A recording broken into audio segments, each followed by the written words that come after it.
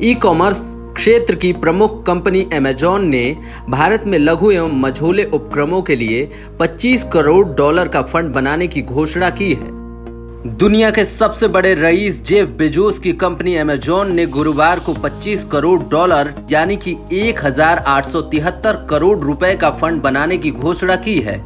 ये फंड भारत में लघु एवं मझोले उपक्रमों को डिजिटल बनाने में मदद करेगा। साथ ही ये कृषि प्रौद्योगिकी और स्वास्थ्य प्रौद्योगिकी के क्षेत्रों में इनोवेशन को प्रोत्साहन देगा। अमेजॉन वेब सर्विसेज़ के सीईओ एनडी जेसी ने कहा कि लघु एवं मझोले उपक्रम इकोनॉमी का इंजन होते हैं। भारत के संदर्भ में भी ये बात सही है। हम भारत में लघु एवं मझोले उपक्रमों को आगे बढ़ाने को लेकर उत्साहित हैं, जिससे ये इनोवेशन और अर्थव्यवस्था में योगदान दे सकें।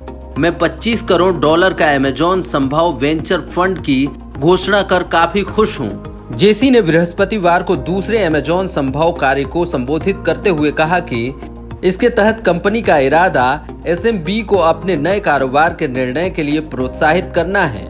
जेसी इस साल के बाद अमेजॉन इंक के सीईओ का कार्यभार संभालेंगे। अमेजॉन इंडिया के वैश्विक वरिष्ठ उपाध्यक्ष एवं भारत के कंट्री प्रमुख अमित अग्रवाल ने कहा कि ये फंड सर्वश्रेष्ठ आइडियाज़ को सशक्त करने का लक्ष्य लेकर चलेगा। इसमें दूर दृष्टि रखने वाले उद्यमियों को आकर्षित किया जाएगा।